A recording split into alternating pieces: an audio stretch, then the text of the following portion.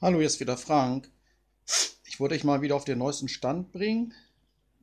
Und zwar habe ich gestern die Standrohre wieder bekommen. Ich habe die richten lassen, weil original ist eigentlich nichts mehr zu bekommen.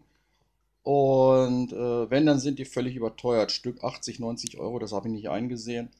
Jetzt habe ich eine Firma gefunden, die sich darauf spezialisiert hat, Gabelbrücken, Gabeln, Rahmen zu richten.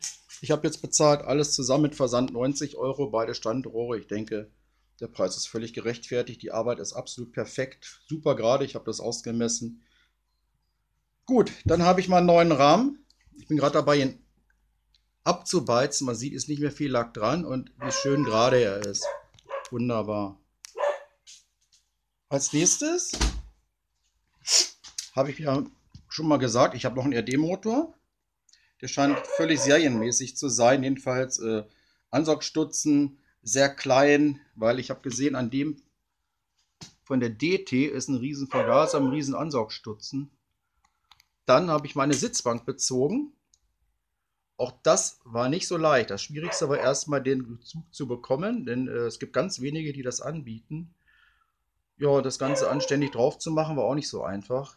Da braucht man eigentlich fünf Hände. Aber es hat geklappt. Der Tank ist auch für die Lackierung fertig gemacht. Ähm, jetzt bin ich gerade dabei, ein Schutzblech anzupassen vorne.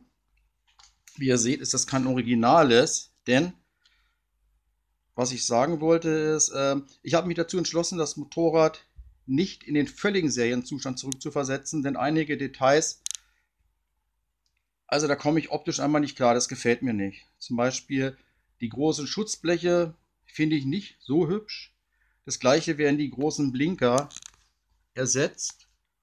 Natürlich durch zeitgemäße kleine. Also da kommen jetzt keine LED-Blinker mit äh, von Kellermann oder sowas. Das passt natürlich überhaupt nicht.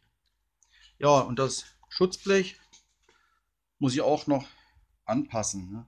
Bin ich gerade dabei, deswegen habe ich auch die Gabel hier eingebaut. Gut, das war's erstmal.